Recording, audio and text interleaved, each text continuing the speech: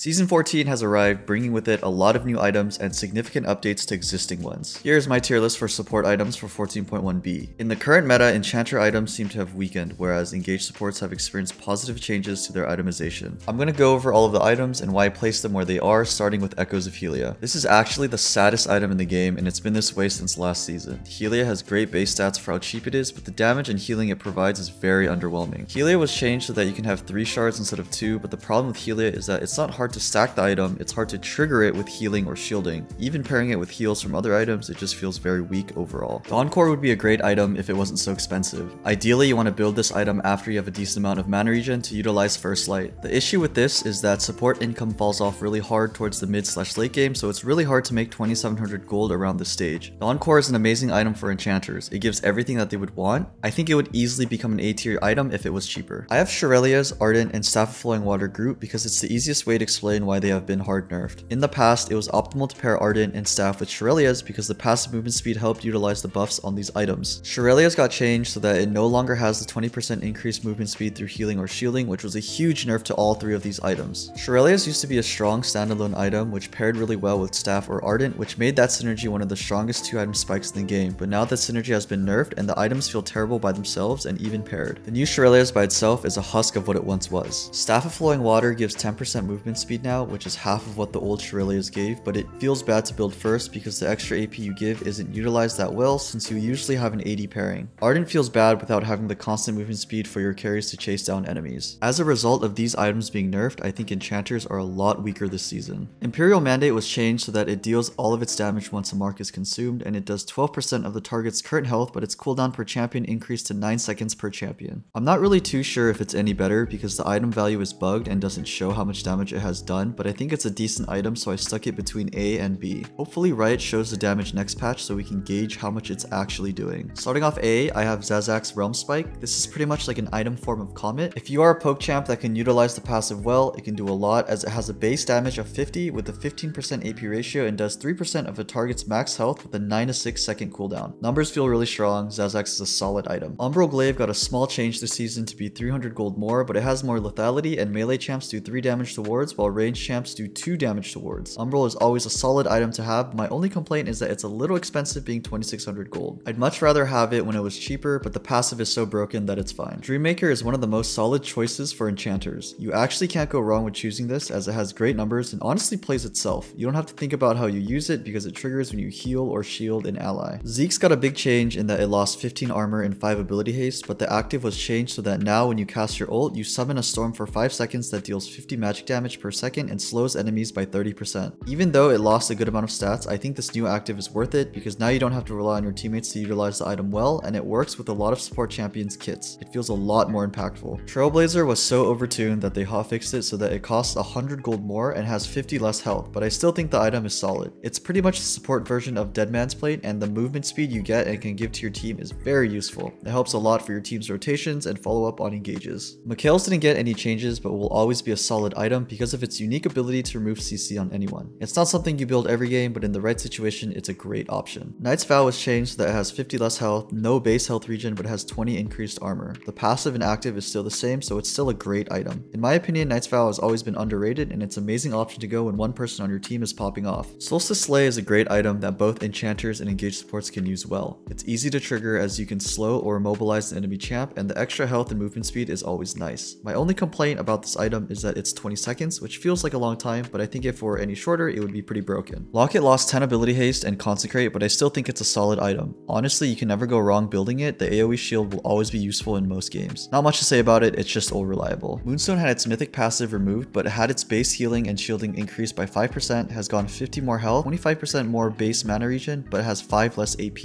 It's a pretty solid item on enchanters that can heal or shield a lot. Frozen Heart has no business being 2300 gold. It was changed last patch in that it's 400 gold less, but trades off 20 armor. I think Frozen Heart is one of the cheapest and best defensive items you can get as support now, and against the right team comp you can get insane value from it. Abyssal Mask did not get any changes and is the cheapest completed MR item. In a comp where you and the enemy have heavy AP, this item gets crazy value as it gives 60 MR and steals magic resist from enemies nearby. Even if you only have one AP user and you need MR, I think it's worth it because it's the cheapest MR item at 2400 gold. Redemption lost 50 health in the passive Harmony but gained 15 ability haste in the last update. Having an AoE heal that can can also do true damage that gives vision of an area that has 5500 range and can be used while dead for 2300 gold is broken. If you pair it with Moonstone, it becomes one of the strongest two item synergies in the game. Bloodsong is basically Sheen and Evenshroud combined and it's very overtuned. To put into perspective how broken it is, Evenshroud was nerfed when it caused the target to take increased damage at 10%, but Bloodsong is 12% for melee and 8% for range and it's a lot easier to trigger. If you look at the top players on the ladder, you'll see a lot of them abusing Bloodsong with both melee and range supports. Finally at the top, we have Celestial Opposition, which is basically Crown of the Shattered Queen. It's amazing that supports have the option to go this item as part of every build path, especially in a meta where burst is so high. This item will save you multiple times a game and will actually allow you to play in games where in the past you would just get one shot. That concludes my list. Overall itemization has been interesting to figure out what needs to be built every game and season 14 has been very refreshing. I'm sure a lot of items are going to change and I'll probably change my mind for some items the more I play. Except for Helia.